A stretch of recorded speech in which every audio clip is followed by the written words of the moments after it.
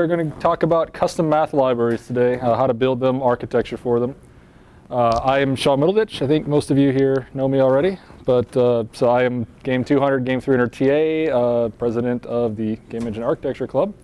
Uh, currently a senior. Uh, a couple of my games you may or may not have seen, Subsonic and Core, and that is enough about me. Uh, so today we're going to be talking about how to build a math library. This isn't how to do math. I'm, I'm not a math person. I don't pretend to be. Uh, we got Math 140, 250, tons of graphics classes for that. This is how to build the code architecture that makes it easier for you to do the math in your game. Uh, make sure you have the nice easy APIs. You're using vectors and matrices and so on and so forth. Uh, we're going to go over a little bit about API design, how to make your math library easy to use, easy to figure out. Uh, go a bit over testing, how to make sure your math library actually works uh, as well as just cover the tips and tricks and also optimization using SSE.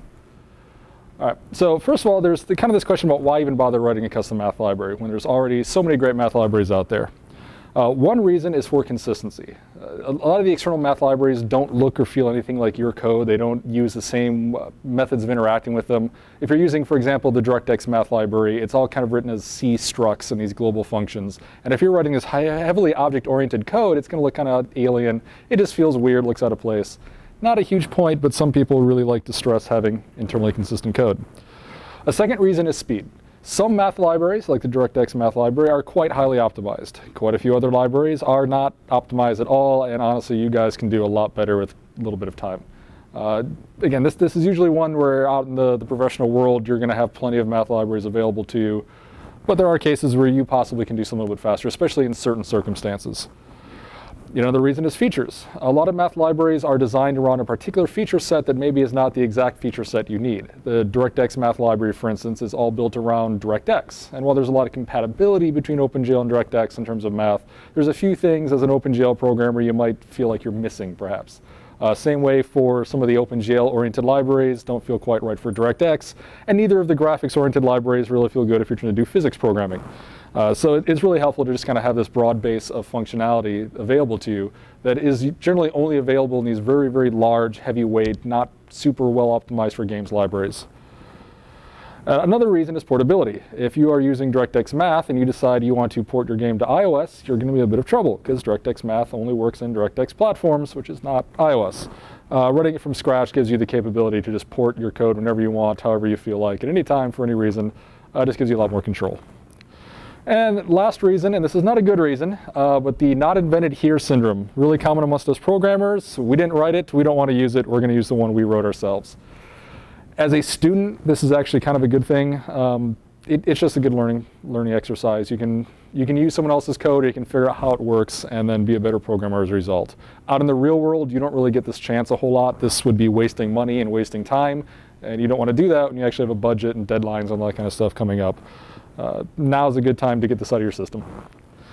Uh, there are some reasons why everything I'm going over you should probably just ignore. Uh, a lot of this goes back into the real world reasons why you probably do not want to write your own math library, and you should only do this in student cases. Uh, one is bugginess. Your math library is almost certainly going to have bugs that a well-tested commercial grade math library does not have. Uh, that's just a fact of any new code. Uh, we're going over some techniques later on on how to reduce the amount of bugs in your code. Another thing is speed. Uh, again, your math library is probably not going to be as optimized as, say, DirectX Math. Probably. Uh, features. So there are other libraries out there that have every single possible feature you could ever imagine. Uh, you will never possibly implement all of these. So, you know, it, it's really kind of handy to just use an existing math library in those cases. And again, not invented here syndrome. This is actually a bad thing in the real world. Um, I still recommend as a student you do this anyway. Most of the cons I, I, feel are outweighed by the pros, especially if you're just learning. Even out in the real world, there are certain cases where if you're writing your own engine from scratch or, or doing a lot of from scratch work, having your own library that you understand well, that has the exact features you need, the exact performance that you need, uh, it's going to help you out quite a bit. All right, so there's quite a, bit, uh, quite a few different features we can put in our math library. Uh, the big one obviously is a vector. Uh, these are four component, two component, three component vectors, all the, the, standard linear algebra types. Uh, although in graphics and physics, we're generally dealing with 3D space, so we don't need vectors of say 17 components. Your math library needs to support two to four components per vector. Uh, vectors are generally going to be dealing with floats. Uh, floats are the 32-bit single, single, precision floating point number you guys are most use, used to. Uh, it's important to note that you will not generally use doubles. Uh, doubles are more precise. You have a lot of people saying, oh, just use a double, it solves all kind of problems. Unfortunately, doubles are a little bit slower for this processor to deal with. It takes more work. They, they're the native uh, SSE and SIMD instructions on your CPU don't really deal with four doubles very well. GPUs don't deal with four doubles very well. We stick to floats. There are some cases where you might want to have a vector or even a matrix of ints, or even in some cases booleans. Uh, there's, there's some neat tricks you can do with those, but they're pretty rare. You're going to almost always be dealing with floats. Uh, the other thing you're going to want are matrices. These are going to be used for your standard 3D transformations, even 2D transformations, uh, you know, Math 140 and 250 here, and then CS 200 and 250, I think, go into quite a bit of detail on how you use these to actually get stuff on your screen. Uh, in general, a, a, matrix is, you, you think of a matrix as a vector of vectors. It's pretty handy. So for example, a 4 by 4 matrix, you can just think of four four-component vectors. Uh, and since they are just made out of vectors, I mean, their floats are the exact same characteristics that vectors have. Uh, so another useful feature is a quaternion, and we'll go into that in a tiny bit of detail later on in the talk. I know quaternions are scary. There's that meme that nobody understands how they work. Probably true, uh, but actually using a quaternion in your code is actually very easy. Uh, just you know, you can get online, figure out how it works, get the code implemented, tested, and use them to do some really cool stuff. All right, so there's then the basic operations your math library needs to support. Do you have a question?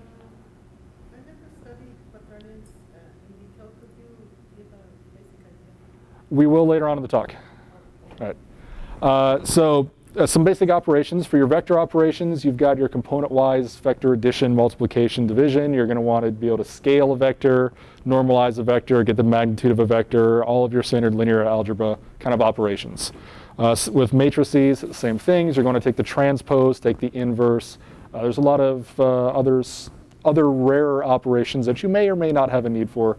Uh, they're useful to just be aware of.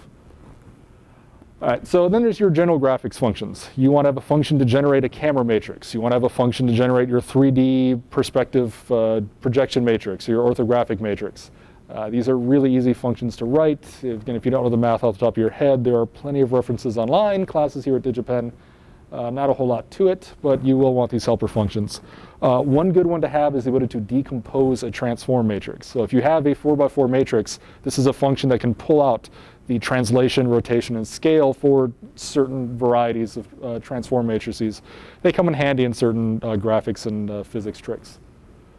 Uh, you're also going to want possibly a geometric library. This is especially true if you are doing any high-end graphics or particularly physics.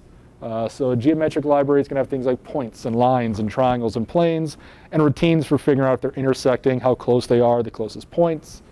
Uh, different trees you can use for setting up your objects in your scene for optimization purposes. Uh, we have an entire class here at DigiPen over this whole topic all on its own. That's CS350. So if you guys haven't taken it yet, you will soon. Uh, and then lastly, there are some more advanced operations. These come up pretty rarely. Um, in most student games, you'll probably not need any of these, but if you're doing something really fancy, you might run into the need to have uh, a couple of these here or there.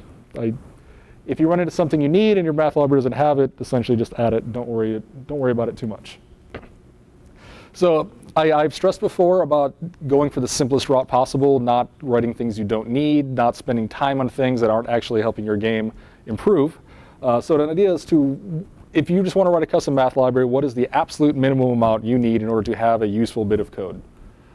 I think the obvious one is that you need a three-component vector. You're going to be working with 3D math, you need an x, y, and z. If you're working with 2D, then you can actually just get away with a two-component vector. Uh, you actually, in 3D, don't necessarily need a four-component vector. If you're not doing a lot of matrix math on your CPU, you're letting the GPU do all of it, you can actually get away without having a four component vector or three component in the 2D case. Uh, same thing with matrices. You don't actually need to do any matrix math on the CPU. You can do it all on the GPU.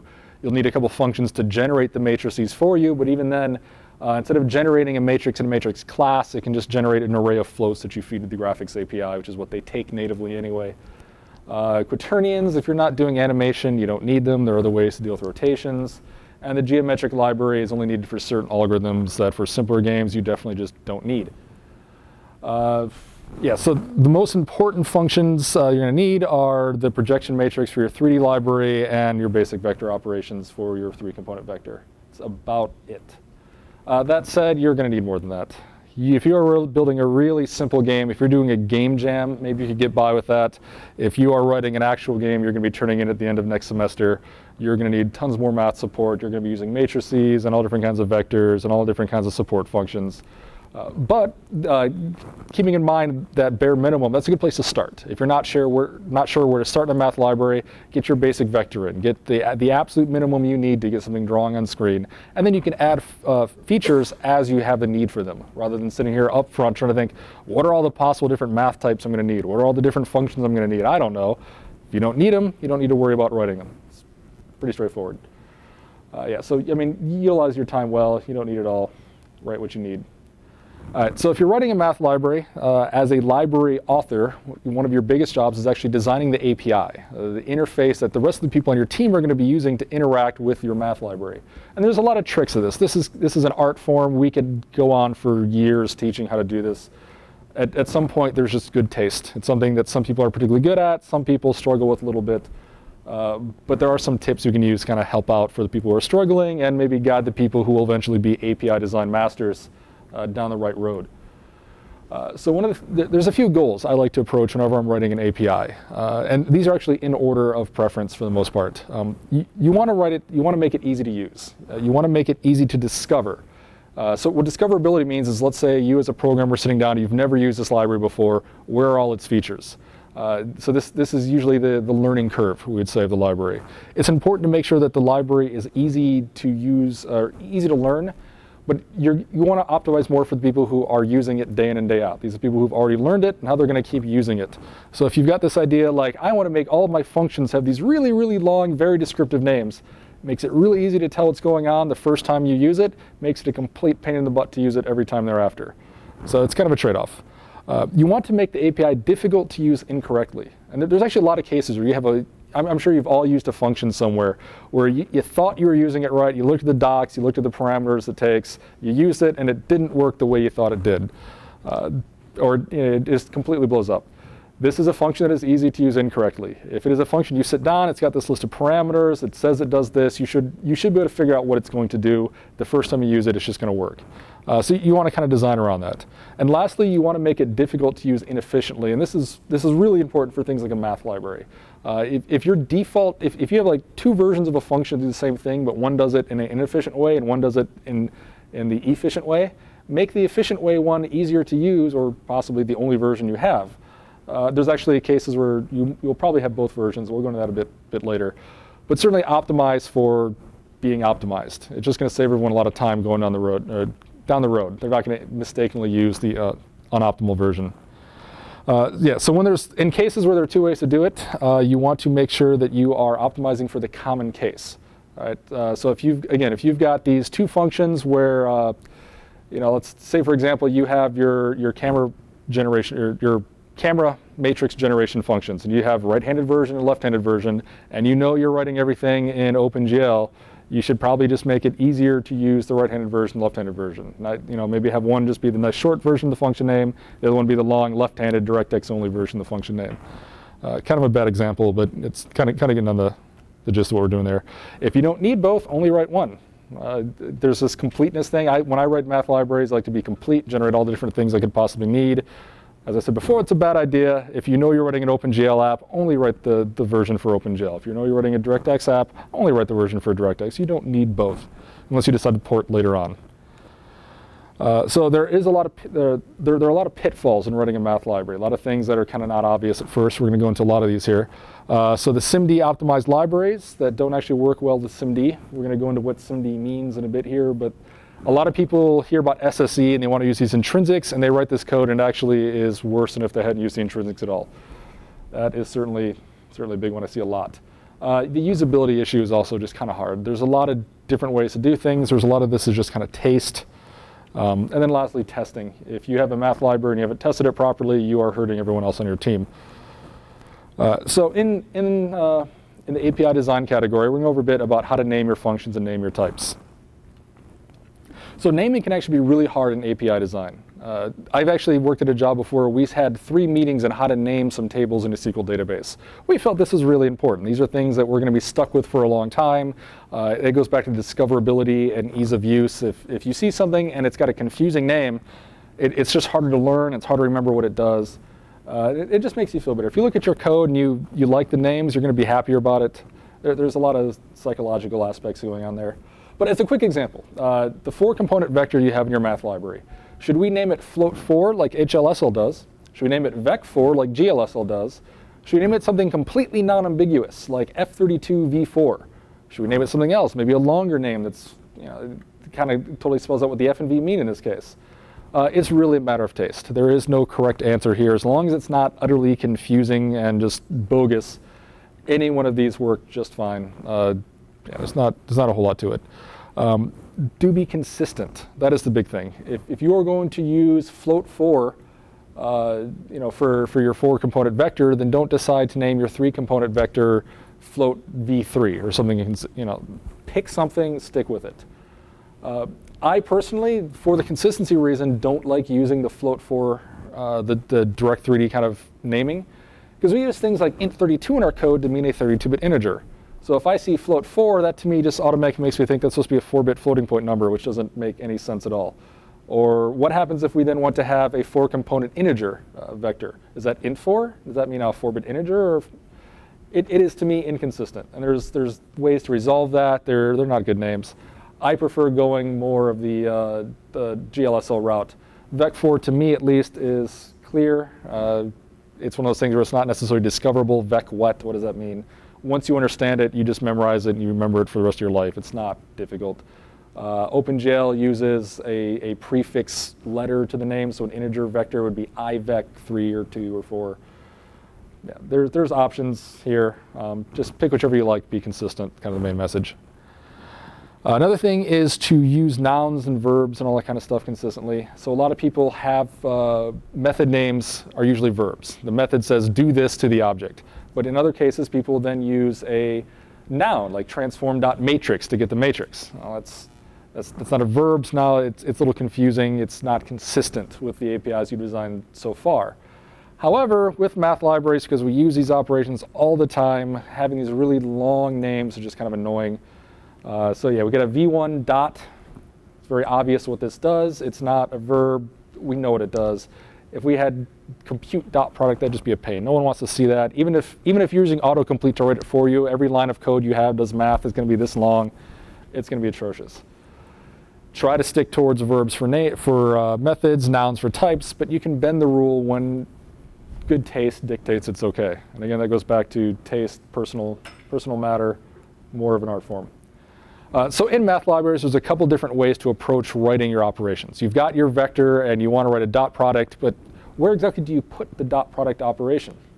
Uh, you could either make it a free function or a method on the object itself, whereas the free function means it's not a method in a class. It's just a global function, essentially. Uh, in, in the C++ community, uh, from the, the people who've actually you know, write and design C++, write the, the main books, uh, there's a saying that if an operation can be written using an object's public interface, make it a free function. So essentially what that means is let's say you have your vec4 and you have these public x, y, z, w uh, components on your vector 4. Uh, you don't necessarily need to put your dot product as a method on that vector because any function could just read those values and compute the dot product. Uh, so yeah, there's no reason for that to be a method. It doesn't need some internal access to the, the vector. It doesn't need to be a part of it in order to function. However, code completion is this awesome thing we have, and it works a lot better when you're writing things as methods. If you have a free function and you've got this vec4 variable sitting there, you can you know, mouse over the vec4 and get a list of all the methods on it. Or you're typing out v whatever dot, and it just drops down the list of all the methods. With the free functions, you lose that. Uh, so you lose some of the discoverability, you lose that ability to just kind of automatically have the compiler pull up all those available optimization, or yeah, all those available methods for you. Uh, so there, there's this trade-off where old wisdom says we should always use free functions when possible. Newer wisdom that's kind of based around the tools we actually use is saying we should make it a method whenever it's not horrible to make it a method. Uh, and there, there's a few ways around the, the problem with free functions. Question? Yeah.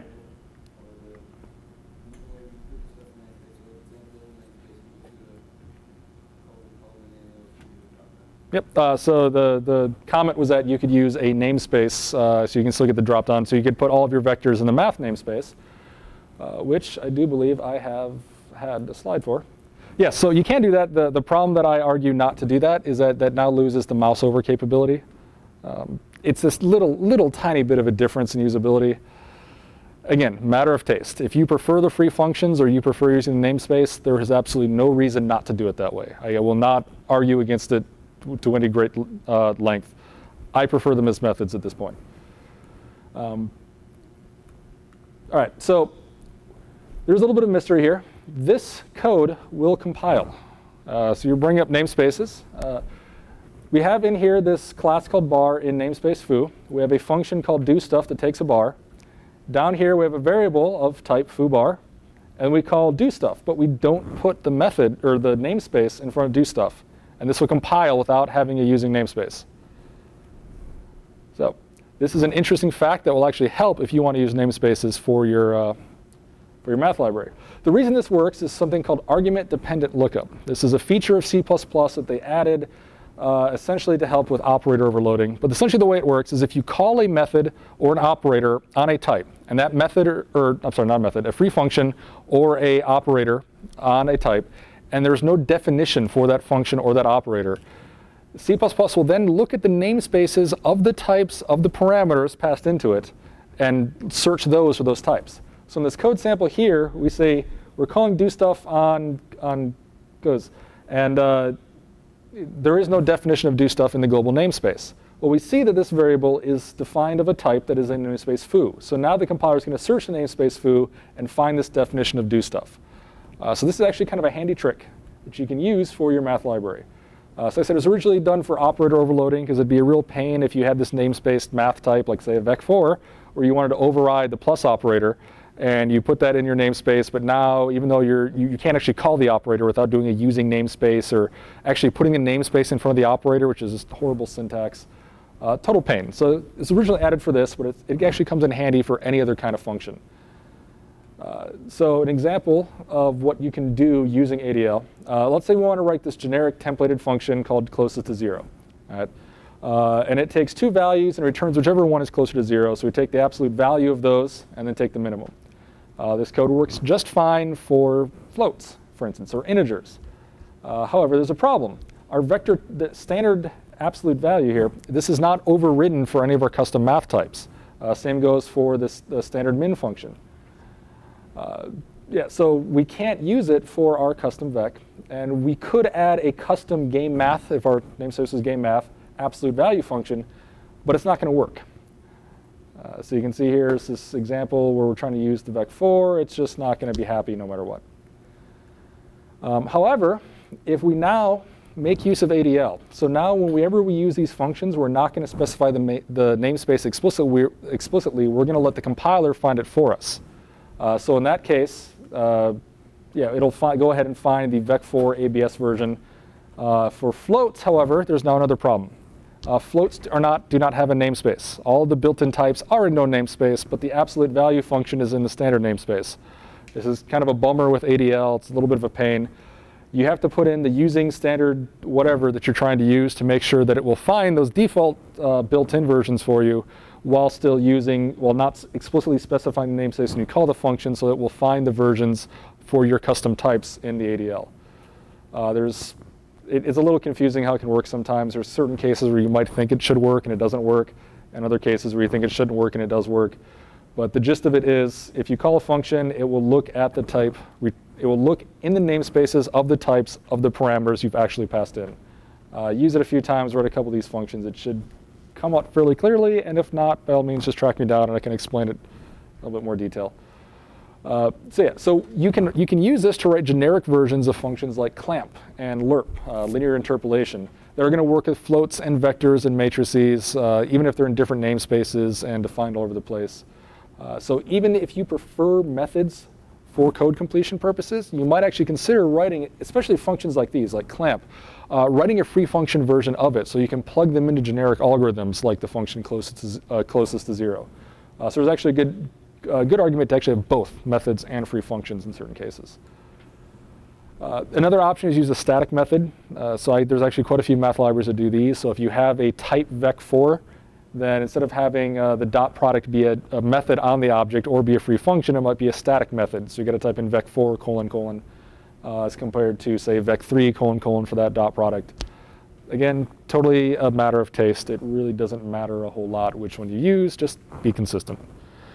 Uh, so personally, I mean, I've written math libraries using all three of these different methods, combinations thereof. I have my taste. I think my taste is, is better fit for me, obviously, but you guys use whatever you think works best. All right, so the meat, uh, the, the, the meat, the bread and butter of uh, the math library is going to be your vector classes, which you're going to be using all the time. Uh, I, am fairly certain in games we use vectors more often than we use scalar floats. I, I, really wouldn't be surprised if someone did stats and we found out that, found out that was the case. Uh, so there's a lot of different approaches on how to build a good vector class for a math library, especially in C++. C++ gives you a lot of different tools, a lot of different ways to accomplish the same task. Uh, so for example, we could use a bunch of different classes. We could have a specific class for, for four component vectors, a specific class for three component vectors, another class for three component integer vectors, so on and so forth. We use the powerful feature of C++, uh, templates, and have it generate all these different versions for us. We write one generic definition of a vector or matrix, and it does all the hard work. Uh, we can use the hybrid approach, where we mix templates and specific classes. Um, so I'm going to go over how to do it the templated way, because that is that's the way a lot of uh, C++ programmers kind of want to do it at first. And it, it just seems really obvious that this is the good way to do it. All right, so the idea here is that we can write a type like vector, and we can template it both on the actual type of value it contains and how many components it has. Uh, so, and for anyone who hasn't seen syntax like this before, at the end there, you can actually pass in non-type template parameters. So you can have an int. So in this case, uh, you'd actually hard code whether this is the size is three or two or, or so on and so forth. Uh, so here we create a vector and we tell it it's going to be of a type and size, for example, float and size three. And then we go ahead and we can create an array of size 3 of floats. And we can put operators in there. Uh, in this case, we just have a single dot because that's all that fits on one slide. Uh, so at that point then, we can go ahead and write uh, generic versions of these op operations themselves. For almost all vector and matrix operations we do, we can actually write it as a loop. Uh, the dot product, we loop over the two, the, the components on both values, multiply them together, sum them up, return that scalar value. Uh, you can do this for um, you know, matrix determinants, you can do it for cross products, you can do it for matrix multiplication, you can do it in all different kinds of circumstances. There's very, very few places you can't directly do this. Uh, so we can do the same thing with the matrix. Uh, here, you know, it's a type. Instead of just having the number of components, we now have the number of rows and columns, or I prefer to use major and minor because uh, if you're writing a GL, or if you're writing your code to be GL oriented, then you're probably gonna have your columns be major. If you're writing it Direct3D oriented, you probably have your rows be major. So I, I abstract away the rows and columns a bit here. But yeah, this looks almost exactly like the vector case, just different operations, but same general approach. Uh, so there are problems with the template approach, and while it seems like it might, at first look, it might seem obvious that template's are the right way to go, I'm actually going to argue that they're a horrible way to go for a math library. Uh, so the first problem is that the operate, some operations are not generic. Take the cross product, for instance. Cross product is not defined for two component or four component uh, vectors. It's for three components. Mostly there's actually some other vector sizes where cross product is well defined. We don't use those in games. I really don't care about them. You probably don't either. Uh, matrix inversion. You can't normally invert a non-square matrix. There's like different kinds of ways you can do inversion, but the standard matrix invert inverse is only really defined for a square matrix. So if you try to write a single template that can support any arbitrary size of matrix, you're going to have trouble writing an invert function that's even going to compile or have any real proper return value. Same goes for cross product. It's really difficult to write a cross product that actually does anything meaningful in a generic way. Uh, the templates restrict your API design in a lot of cases. Uh, so for example, if you want to have a constructor for your vec4 where you just give it four floats, if you're using a template, you can't have a templated function that takes a variable number of arguments like that. You can almost kind of do it in C++11, but not really. Uh, so you're stuck. You can't actually have this overridden constructor. You might think you can derive your class from the vec, you know, have a derived vec4 that uh, derives from your vec, uh, your templated vector of size 4 and type float. Uh, but there's actually a lot of other problems that happens with that. It, it doesn't work out too well. The same goes for your accessors. You might want to have it so your vec3 has a dot .x, dot .y, dot .z. For your generic uh, vector type, you can't actually add that. You can't add the dot .y and actually have this code work in, in any way for a two-component vector. You, you have to hardcode these for particular sizes. There's ways you can do this. Uh, if you look at my blog, I actually experimented with a bit and found ways to solve this problem. But the code is ugly, it's messy, it's not something you should have to deal with. It's just, it's bad. Don't do it. Uh, there's optimization issues. Uh, so when we get into the SSE stuff a little bit uh, later on here, it, you can't generically write SSE code. SSE, the SIMD stuff, requires a four-component float. So if you have a four-component float vector uh, for the, the, general case. So if you want to write this nice optimized SSE library, it's only going to work for one particular type, and you can't make it generic for a five-component vector or a three-component vector. Uh, so you're, you can't use this templated code in this case. Uh, and lastly, templates bloat compile times. I, I think a lot of you know that already, and if not, you do now more templates you have, slower things compile. So avoid them unless you need them. All right, so there are some other things you might think you can do. Template specializations come to mind pretty immediately. You might want to decide that you want to support arbitrarily sized vectors because maybe physics is going to need a 17 float vector for some weird algorithm he's doing internally in his code. But you want to make sure you have that nice optimized SSE version of your vec4 that has the .x and .y and .z and w. Uh, so you're just going to specialize your template and then have that, that whole rewritten version of it just for your four, four component floating point vector. You can certainly do that, um, but at that point you now have essentially gone to the hybrid approach. You are rewriting this class from scratch because of the way vectors, the, the template specialization works. And you're still dealing with the bloated compile times.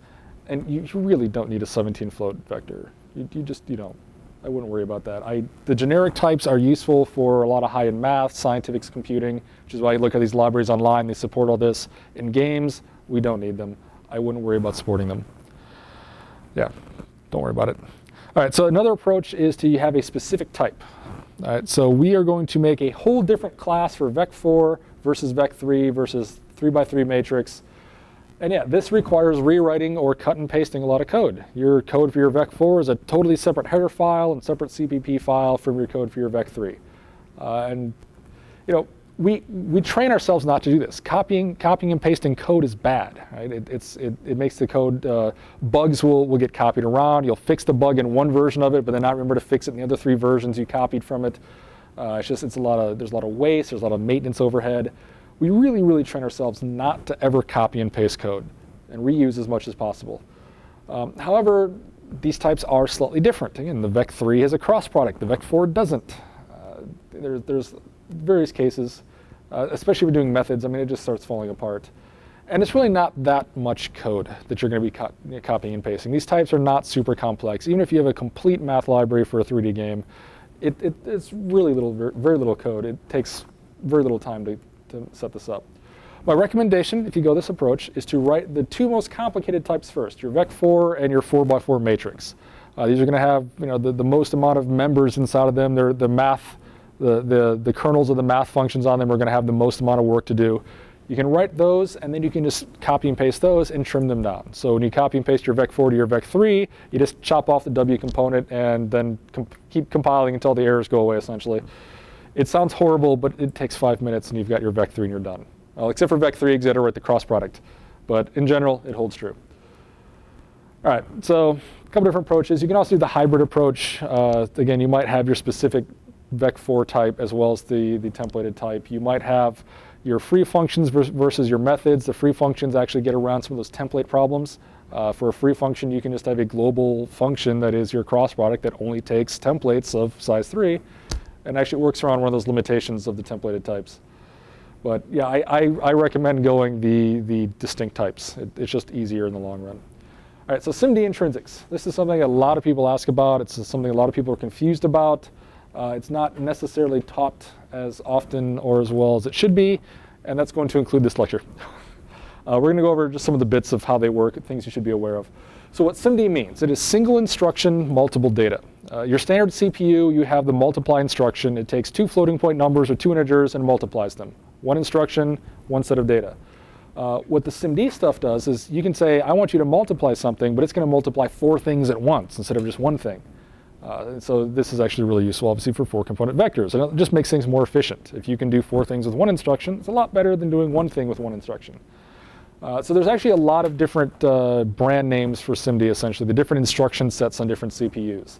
If you're using the Intel-compatible CPU standard in our desktop computers, uh, you're going to be looking at SSE, which stands for the Streaming SIMD Extensions. Uh, if you're ever writing for an ARM CPU, which is going to be iPhone, Android, the new Windows 8 RT, things like that. Uh, those all use an instruction set called Neon for SIMD. And then if you're writing on PowerPC systems, which are consoles and quite a few supercomputers, uh, they're going to be using what's called AltiVec. But essentially, they're the same general concepts, just the different programming API. Uh, so an example of what you can do here, um, SIMD instructions allow multiple pieces of data to be processed at once. So you see here we've got four non-SIMD instructions. I have to do four multiplies to do all this work in pseudo assembly code. With SIMD, I do one instruction, way quicker. Very, very obvious how much quicker that's going to be. Uh, so the, the actual uh, C++ language has no native support for SIMD types. There is no built-in vector for, there is no built-in matrix. If there was, this talk would not be happening right now. Uh, you got to write these on your, on, on, your own, and you have to access these native uh, CPU instructions on your own. Uh, however, you do not use inline assembly. A lot of people keep talking about, oh, you got to use assembly in games to make things go fast. Do not do that. Uh, writing assembly, inline assembly in your code actually forces the compiler to disable all of its optimizations because it doesn't know what your assembly is doing. It can't look at your assembly and figure out which registers it's screwing up or what other weird things you're doing. It just has to assume that you're following the rules about how functions are supposed to work, and it has to disable all of the fancy optimizations so that it also follows that rules and your code can play together do not use inline assembly unless you are absolutely 100% certain you have to. So for SIMD stuff, we have what are called intrinsics. These are functions that the compiler has built in that kind of uh, wrap the, the SSE uh, uh, it, CPU instructions. But they're in ways that the compiler understands what they do, it, it knows what's going on, and it can optimize around them and optimize them itself. And again, there's different intrinsics for each of the different SIMD CPU instruction sets. So we're going to go over SSE because that's what most of you are going to be using in your student projects most likely. Uh, so there's a couple different headers. Uh, the SSE headers from Intel are essentially all mmintrin.h. The original ones were for MMX for the multimedia extensions. Uh, we don't use those anymore because those don't really help us a whole lot for games. They just tack on a new letter for each one. SSE2 is PM, SSE3 starts with an E. They've used like almost every other letter by this point. It's a really weird naming scheme. I don't know what those are supposed to mean, but that's what we do. Uh, so you can get online, you can search up all the ones. If you want to use SSE4 or 4.1, you can find the headers, not a big deal. Um, I would recommend you stick with SSE2 or SSE3 for now. SSE4 adds several very, very awesome instructions that for speed reasons we would love to have. Uh, but if you look at the Steam hardware survey, for instance, most users don't have it yet, or enough users don't have it yet that if you were to make your game and you used SSE4 intrinsics, it would just crash in your computer because their CPUs aren't new enough. Uh, everybody has SSE2. You can use that completely safely. Um, actually, if you compile in 64-bit mode, 64-bit Intel compatible CPUs are required to support SSE2. Uh, so you actually don't even see the old x87 floating point show up much.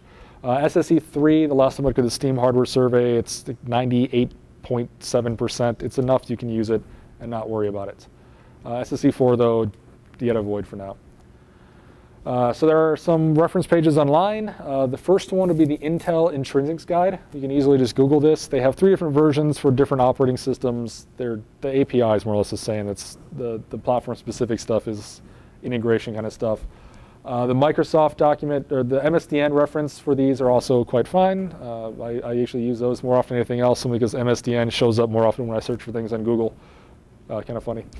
Uh, the SSE Plus library is another reference that I see pop up a lot. Um, I don't actually recommend using the library, but their reference is actually very, it, it's very compact, very easy to browse through. It just lists out all the different instructions, what arguments they take, what the names of the intrinsics are, uh, which is something, it's really hard to remember. They get really, really awkward, goofy names. It's difficult to keep them in your head. Um, so a couple things about what these registers are and what they do. Uh, so the SSE registers are 128-bit data types. If you think of them as four floats, and a float is 32, uh, 32 bits, they're going to be 128 bits. Uh, they are primarily used for 32-bit floats, although they actually do have instructions for using two 64-bit uh, doubles, or using four 32-bit ints, or even eight 16-bit ints. Uh, they actually support quite a few different variations of all these. Uh, so all of the intrinsic functions are going to start with an underscore underscore mm. This is just again the legacy from the MMX functions. Uh, interestingly enough, the documentation always lists them with a single underscore, but the actual functions when you use them are double underscore. I'm not sure what that's about, but it's just something to keep in mind. If you're searching on Google, it might seem a little weird. Um, so the intrinsics you're going to be using most in a game will end with underscore PS. And what this acronym means is that it is a packed single. Packed meaning that there's as many of them fit in 128 bits, single meaning a single precision float. PS means four 32-bit floats. If you see uh, PD, that's going to mean packed double. That will mean two 64-bit doubles. And there's there's other suffixes uh, suffixes for the integers, things like that. Uh, so the non-vector math, especially again if you're on 64-bit mode or you just enable the SSE optimizations in your compiler, which you should do, you're going to see them end with underscore SS. The reason for this is that the SSE instructions have replaced the old Intel x87 uh, floating point operations that I think you guys are still learning in assembly class. Uh, we don't use those anymore for the most part. Uh, so we use the SSE things, but we use underscore SS, which means a scalar single precision. So it's storing a single, it's storing a float in just the first 32 bits of the uh, the SSE register. Uh, and it, it, just does the scalar operations on it.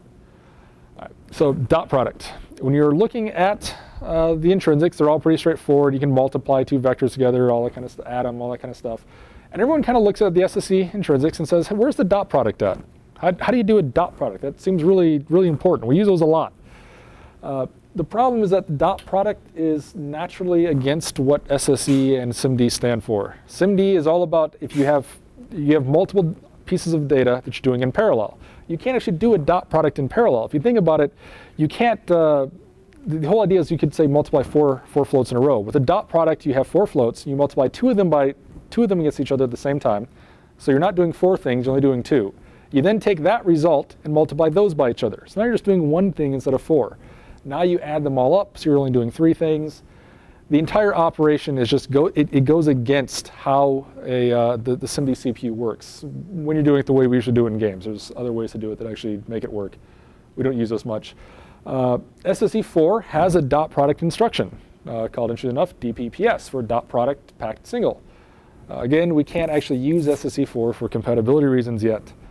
Uh, there is an instruction called an SSE3 called HADDPS when you are writing your custom dot product in your SSE intrinsics, you're gonna have to use that one. A lot of guides online don't go over it, which is why I just want to make sure you guys are aware of it. A lot of the guides are still written for SSE one or two. Uh, you need the HADDPS, or you don't need it, but it, it helps makes it help makes it faster, essentially. Uh, so we're talking about how the dot product, you do those multiplies and you add all the results together. HADD makes it a lot quicker to do those adds. Uh, it stands for horizontal add. So if you think of normally the SSE instructions, you've got multiple rows of vectors. You got one vector and then a second vector, and you're multiplying the two rows together. Uh, eight, the horizontal means you've got a single row of, of uh, values and you're just multiplying them together horizontally. It's weird nomenclature, but that's what we got. Uh, you can't rely on them on having SSE 4. You can rely on them as SSE 3. That's slightly wrong there. But yeah, for the dot product, you're just going to have to suck it up and deal with the fact that your dot product SSE function will probably be one of the ugliest functions you write for your, your intrinsic library. It's silly, but that's just the reality. Uh, so there's a lot of information on how to optimize for SSE correctly. Uh, and you guys get the slide online later. This link goes over it. You can just search for optimizing SSE. There are tons of great guides. Uh, especially if you see any ones that mention SSE3, they're going to be fairly up to date and useful. Uh, there's a couple things like instruction pairing and data dependencies. That is a huge topic in and of itself. Uh, class here at DigiPen, CS391 goes into that in quite a bit of detail along with other topics. If I've mentioned already, if you are not planning on taking CS391, plan to take CS391. It is one of the best classes at the school by far. Uh, so instruction pairing, data dependencies is essentially the way you write your math code. Uh, we can go into that quite a bit of detail. If you're interested in optimizing math code, just come talk to me and I can talk your ear off about it for a while.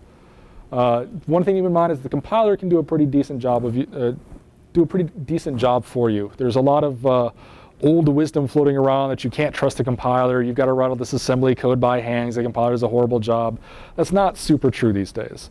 Uh, I would say you can uh, you shouldn't trust the compiler, but you shouldn't doubt it either. If you're concerned about the speed of something, just test the code or take a look at the assembly output, but don't immediately assume it's going to be wrong and try to do it for it. Uh, you know, let the compiler do its job and only fix it if the compiler is actually screwing up. Uh, so SSE has a couple things that just makes it really hard to use. One of those is the alignment issue with SSE. All right, so SSE values, in order to efficiently load a value out of memory into an SSE register, it has to be aligned, uh, aligned to a 128-bit boundary. So essentially what that means is you have your pointer address in memory, uh, you need to be able to evenly divide it by 128 bits, uh, so 16 bytes. Uh, if it does not evenly divide by that number, it is not aligned. Uh, this is actually true for all types. Integers, for instance, have to be 4 byte aligned. Doubles have to be 8 byte aligned. Uh, some CPUs will actually allow you to load those into registers, but it actually slows it down considerably. Uh, it has to do more work to kind of correct the fact that it's trying to read out of certain segments of memory, or segments, certain addresses of memory aligned properly, and it, it just has to work around it. So you, with SSE, however, there it's actually a lot more noticeable. There's actually totally different instructions for doing an unaligned load versus an aligned load, even on Intel CPUs. Uh, so if you're trying to use the aligned version, which is super fast, you have to allocate your memory that your vectors are in uh, to make sure this actually works. Uh, the problem is that on most platforms, when you allocate memory, it only guarantees an 8-byte alignment. And it does that because doubles need an 8-byte alignment, and doubles are built into C++ and wants to make sure that you can allocate a double and it always works. SSE types are not built into C++, so they don't guarantee that you can allocate them. Uh, it's very unfortunate. Uh, so I, this is, I, I, think personally this is the hardest part of using SSE is the fact that you can't just start writing the code and slapping some SSE vectors in your objects because as soon as you allocate them with new, you're going to start crashing. Uh, it's, it's really unfortunate. There are some, some workarounds we can do though. Uh, one of them is to uh, just actually write your own alignment functions. Uh, for the compiler to do it for it, internally for stack allocated objects when you make a vec4 as a local variable, you have to tell it that you want it to be aligned on the Microsoft compiler. You do it with this syntax. Uh, but when you're using new, delete, malloc, or free, you're just going to have to write your own versions of those. Uh, it's a good exercise. That's actually something we do a lot in the games industry. It's not super hard, but for a student game where you have other more important things to spend your time on, it's a real bummer. Um, there's, there's not a whole lot of ways around that if you are really dead set on directly storing your vector types in memory. Uh, however, there are a couple of things you can do. One option is to differentiate between your vector types that you store in an object versus the types you use locally. So what I mean by that is you have a class like transform. Transform has a vector 4 in it for you know, your position, for instance. Uh, that is a, you would make that a different class than the local variable you'd use to actually write math. And the reason there is that your local variables, when it's aligned, the compiler can automatically align local variables for you. The one in the storage version is not aligned. It just makes it makes it possible to use new, delete uh, like normal. You then use the slower unaligned load to load from storage into a local variable, but then your local variables can do everything the can do everything the fast way. Or even if you're loading them into a special array that you allocated just for, say, your physics library, you can do the extra work just for that array to, to align it properly. Uh, it just makes your code a little bit easier to write. Uh, yeah, the problem with this is that it's difficult to enforce. It's difficult. It's more. It's a lot more extra work. Uh, a lot of errors happen. I see a lot of like a lot of professional engines actually go this route, but it's a huge pain in the butt. I don't recommend going this way unless you're really, really keen on squeezing out the last bit of performance. Um, the other option is to just use the unaligned load all the time. It is slower. If you look at the benchmarks, it is noticeably slower. It is, however, still more efficient than not using SSE at all. So if you're just looking for the easy route, you want to get a speed boost, but you don't want to spend tons of time uh, writing custom memory managers and all this extra work for your math library, this is a totally viable way to go, even in a shipping commercial game. I mean, most, most, most shipping commercial games these days do not do like really crazy 3D stuff, right? The indie game scene is, is showing us that quite a bit. This works just fine. Uh, it, totally, totally viable way to go. Uh, for a student game, I, I, especially recommend you just use the unaligned loads. It's easier. Uh, for more advanced projects, especially if you're, say, game 300 or game 400, you're the tech director, you should probably be writing a custom memory manager anyway, at least once for the practice. Uh, just making sure your memory manager automatically aligns things to 16-byte boundaries would just solve the problem for you. Uh, so, I mean, it's that, that is a way to go if you're one of the teams that are set up to do a custom memory manager. Uh, yeah, again, the solution two, which was the two different types, I, I've seen a lot of people say it's the best. I, I disagree. I don't think it's worth the effort. Um, so there's another term. When you guys are Googling SSE and actually looking at the intrinsics a bit later, you're going to run into these acronyms. Um, and they're actually really important to the way SSE is optimized. So there's AOS. AOS stands for an array of structures.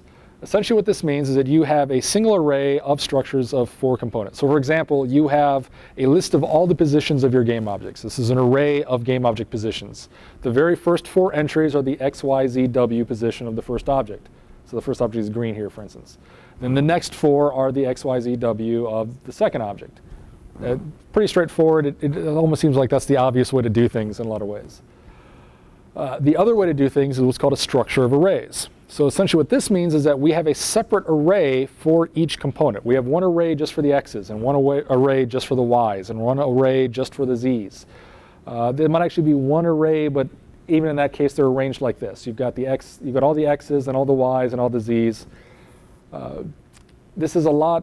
This is not a necessarily a natural way to think about things, but when you're writing highly optimized SSE-oriented, SIMD-oriented code, this makes it possible to do much, much better optimizations. You can actually, you can process millions of entries like these much more efficiently than if you are using the other way. Things like dot product, we said that was a pain in the butt to do. Dot product is actually really easy to do when you're using this kind of layout for your, your vectors in memory.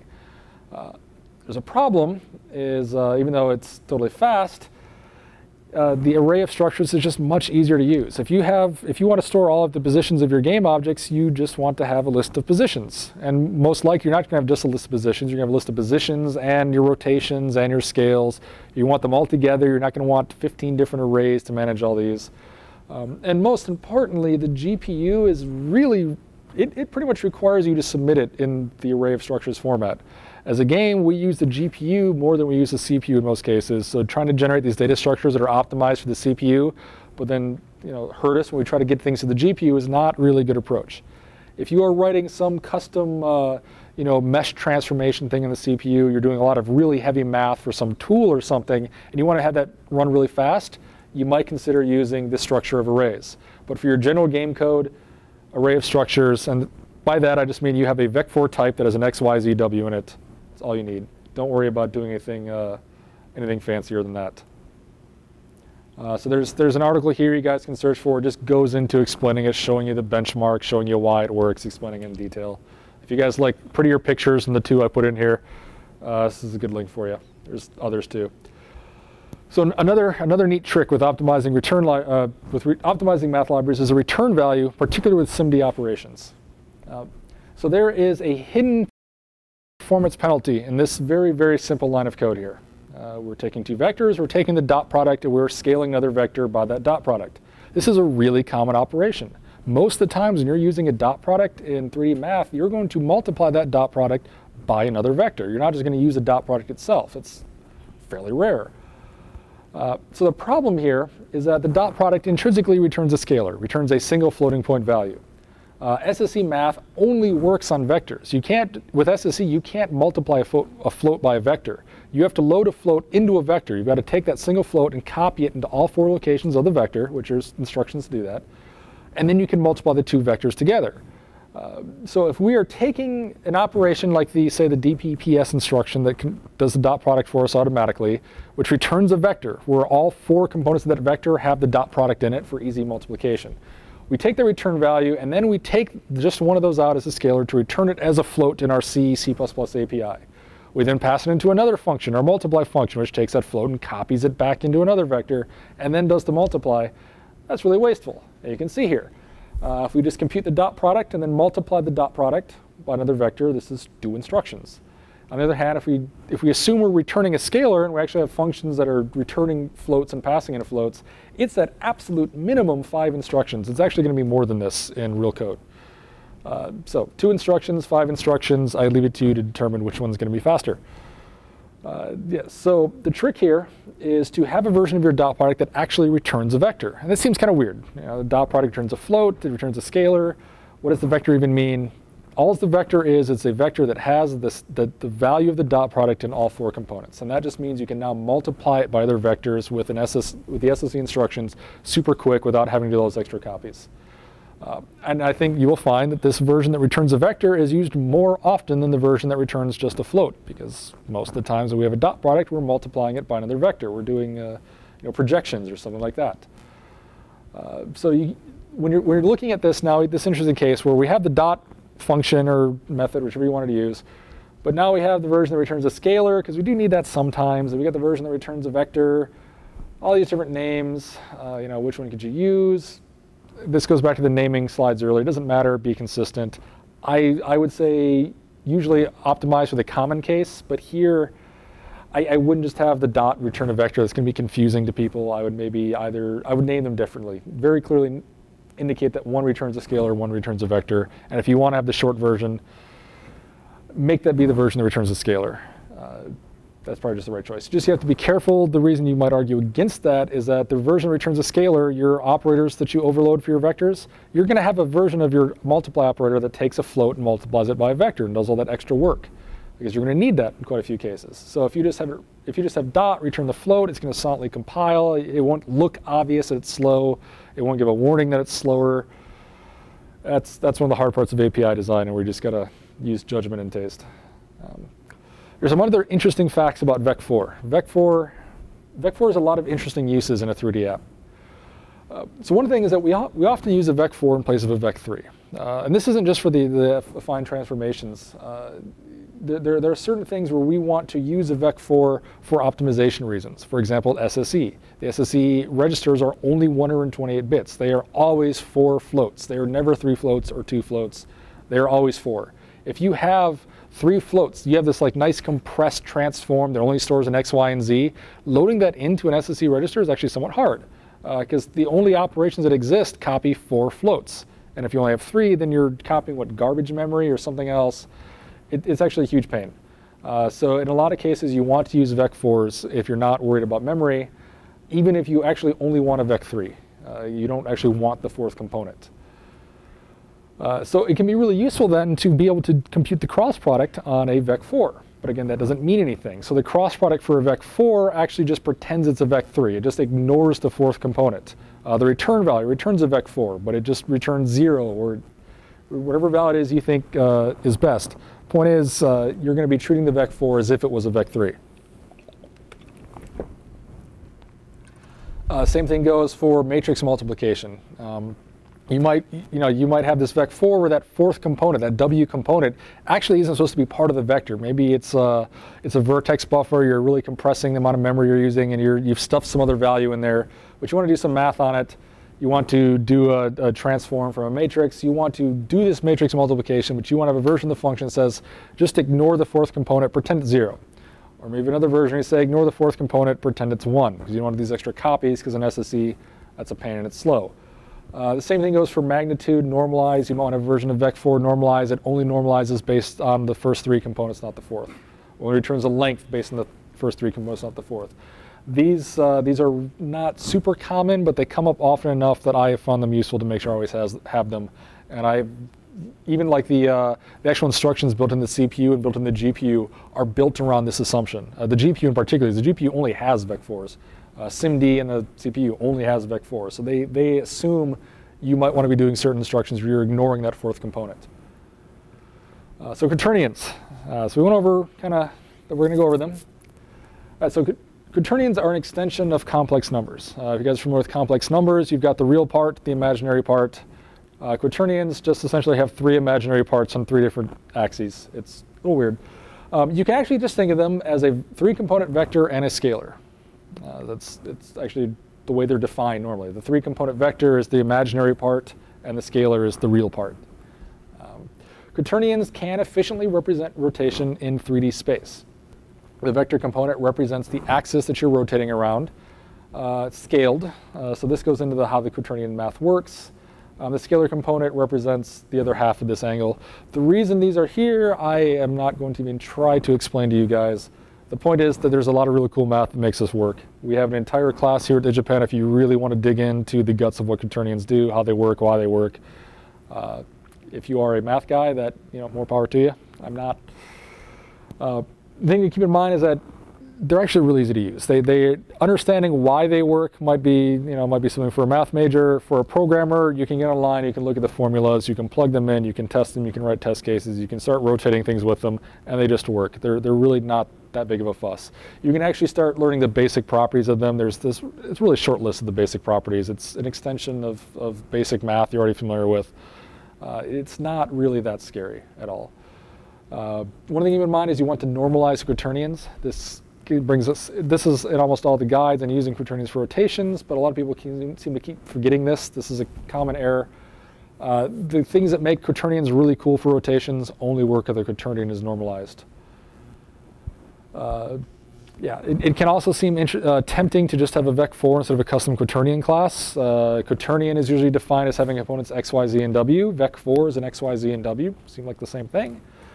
The operations you perform in them are totally different. When you multiply two quaternions, they don't multiply the same way that two vec4s would multiply together. They're, they're, there's actually a different uh, algorithm you use to multiply these together based on those properties of what actually the, the vector component and the scalar component mean. Uh, again, it's online, all how that works. Uh, so you're going to have totally different operator overloads. You're going to have some different uh, definitions. When you multiply a quaternion by a vec4, there's another algorithm you use. There's algorithms for converting a quaternion into a rotation matrix or converting from a rotation matrix back into a quaternion. Uh, so they're different types. They might have the same data, totally different use case. Do not try to confuse things by having one type that does two things. Uh, yeah, there's, there's lots and lots of articles about this. Um, if you're really interested in the math, take the class. I can explain tiny bits and pieces of it. I cannot explain all of it by any stretch of the imagination. Um, but using them is really easy. You do not have to be afraid of them. Running, putting quaternions in your math library. I had never even done anything more than hear of quaternions, and I wrote my first fully tested working quaternion math library in about two hours. And I was with writing all the matrix stuff to go with it. It really was not, not a huge time sink at all. Um, so math for graphics. Um, I'm not going to again go into the actual math you use, just more how you design a library to support these things.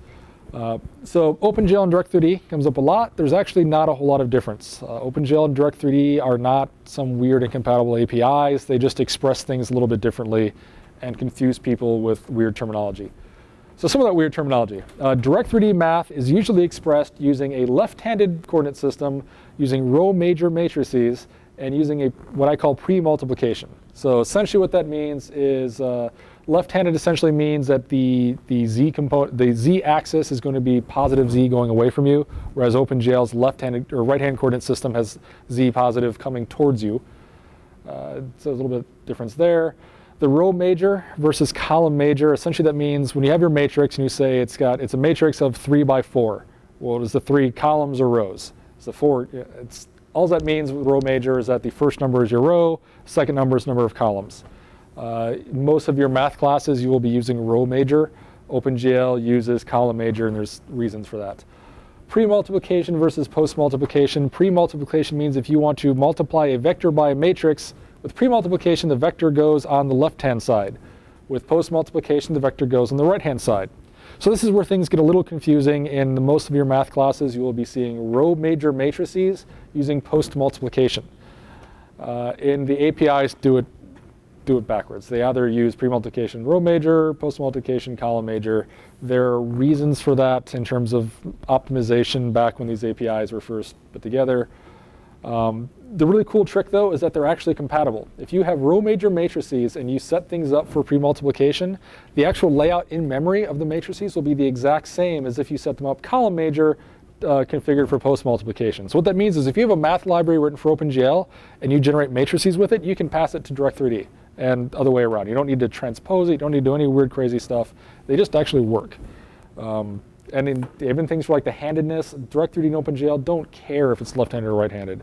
The functions they come with by default configure things to be one way or the other, but they're, they're just matrix multiplication. You can use whichever version you want. You can create a totally crazy new coordinate system where z is up and x is to the right or to the left and it, whatever you want. It doesn't matter. Don't actually do that though. Use, use one of the normal ones, please.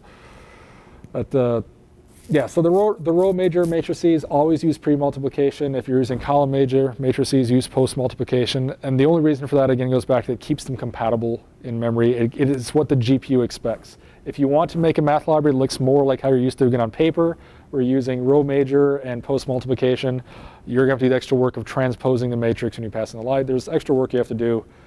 Just get used to one way or the other. And uh, you know, it, it, takes a, it takes a little bit of learning if you haven't written this code in C++ before, but it's not a big deal. Um, yeah, and it just ensures that they're compatible. Um, they don't care about headedness. Uh, there's some coordinate system stuff to worry about. So GL and D3D use different origin coordinate systems. Uh, so what that means is where 0, 0 is. And the talk I went over on 2D graphics, I mentioned that briefly. Uh, but for OpenGL, uh, 0, 0 is bottom left corner, Direct3D, it is upper left corner. This can be kind of confusing because now it means which way is positive y in certain cases. Uh, there's also the other big one is depth buffers. Uh, so in, in OpenGL, your depth buffer ranges from negative 1 to positive 1. In Direct3D, it's 0 to 1. What this means is that when you're looking at your, your functions to create your projection matrices, which the stuff you go over in uh, CS250, uh, they're going to be slightly different if you're configured for Direct3D or OpenGL, which it, it's kind of a bummer. You will kind of want to write this one function that works for both. And with the default configuration, you can't. Uh, thankfully, you can actually tell OpenGL to use 0 to positive 1, at which point you can then just use the same version you'd use for Direct3D, and everything's happy at that point. Uh, there, and for the for this issue, you can just keep in mind that if you're using OpenGL, you need to toss in a multiply by the negative y into your matrix, uh, so it just flips things, and you're good to go. Um, it's really annoying. I, I ran this uh, a couple years back. I was trying to write the generic math library, and this one just annoyed the crap out of me because I ended up having functions for right-handed and left-handed, and then right-handed Direct3D, right-handed OpenGL, left-handed Direct3D, left-handed OpenGL. Even though nobody does left-handed OpenGL or right-handed Direct3D, it, uh, I, if you like generic code, this one will thwart you, but there's not a lot you can do about that. Uh, so if any of that was confusing, I realize that's confusing because I am constantly confused by that. So I wrote an article that just explains it all in excruciatingly boring detail. If you are confused by it, you can look up the article. Uh, it's on my website. It just explains what all these terms mean, why they work or don't work in various ways. Uh, I actually look back the article myself from time to time because I can never, there's too many terms and I always get them mixed up in my head. Uh, so geometric math. This is another uh, feature of a math library that you may or may not need. Um, it's something you should, you're actually going to need to worry about here at DigiPen especially though. Uh, so the, the, geometric math uh, library. So most of your rendering is going to happen in the GPU. You don't need to worry about doing a whole lot of rendering tasks on the CPU itself. Uh, you will sometimes have to deal with spatial data structures. If you want to optimize, uh, you have 10,000 objects in your scene, the CPU has to decide which ones it's going to tell the GPU to draw. It has to some algorithm, some data structure to keep track of this, pass those things in. Uh, that's going to require a lot of math, a lot of geometric math to build these data structures and optimize these structures. So you're going to need code on your CPU side to deal with all these things. Uh, if you're doing any physics, that is still generally run on the CPU today. I know there's libraries for doing GPU physics. They're actually not super popular and used all that often. Uh, and then ray testing, your AI and your game logic is going to be doing just tons of this stuff. You need this to be super optimized. Uh, you need to understand the math for it. You need to have all the math routines to actually do it. Uh, so some important operations you're definitely going to need. You need little things like finding the distance between two objects. You have this line and you have this sphere over here. How far apart are they? It's pretty straightforward, but something you're going to need at some point.